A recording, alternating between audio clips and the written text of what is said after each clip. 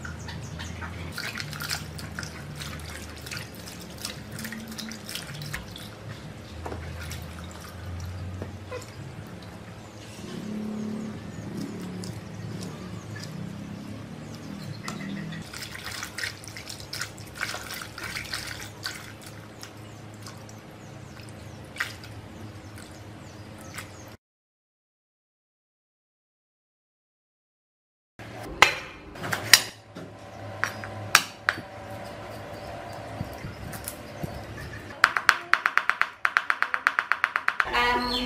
ឆាតែម្ដងដាក់ប្រេងសណ្តែកចូលយើងដាក់ខ្ទឹមសយើងបំពងខ្ទឹមសហ្នឹងឲ្យរៀងក្រហមឲ្យឈ្ងុយហ្នឹងហ្នឹងហើយពេលដែលយើងបំពងខ្ទឹមសរបស់យើងឲ្យរៀងក្រហមឈ្ងុយហើយ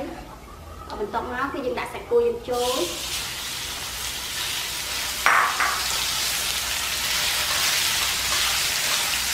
ថ្ងៃបន្ទាប់មកគឺយើងដាក់ទឹកត្រី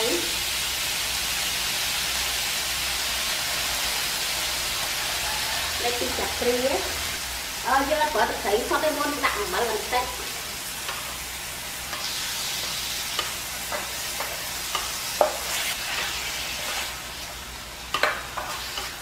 យើងដាក់ស្ករស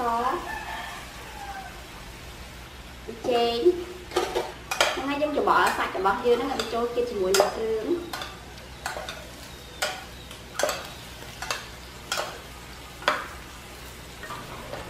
យើងដាក់ម្រេចចូល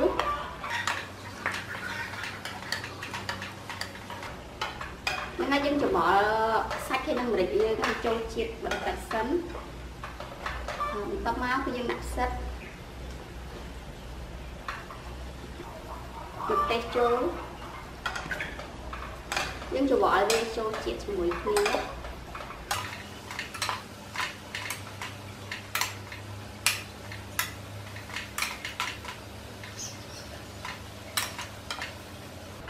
បន្ទាប់មកគឺយើងដាក់ម្សៅឆាបន្តិចទៅដើម្បីឲ្យទឹកសម្លរបស់យើងខាប់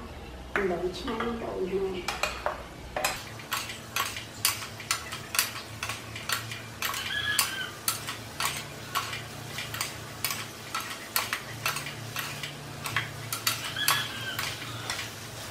រួចរាល់ហើយសម្រាប់លោកដាក់ម្រេចខ្ចីរបស់យើង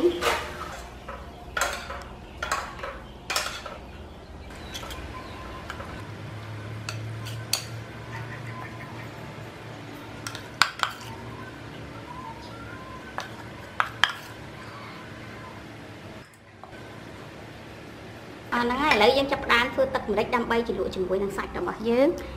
មុខម្ហូបនេះយើងធ្វើរសជាតិរៀងសាបបងប្អូនហ្នឹងហើយធ្វើទឹកម្រេចហ្នឹងបើបងប្អូនអត់ចុះចិត្តទឹកម្រេចវារៀងហិលបងប្អូនអាចធ្វើទឹកបន្តិចហ្នឹងហើយដាក់អំបិលបន្តិច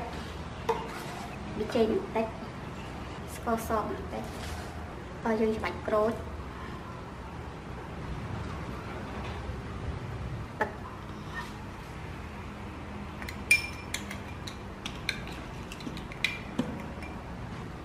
ខ្ទឹមសបន្តិចទៅ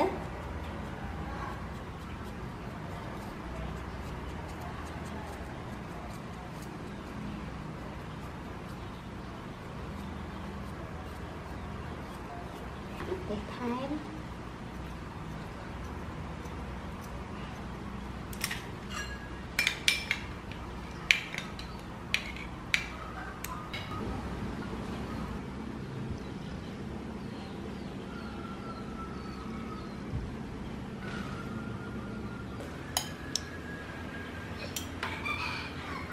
Hmm. Hmm.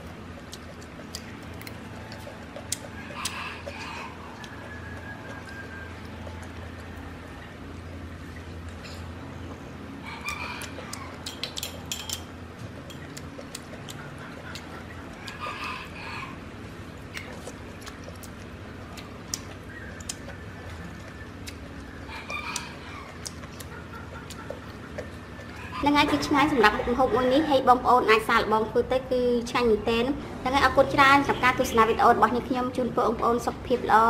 ហេងហេងទាំងអស់គ្នាណាបាយបាយ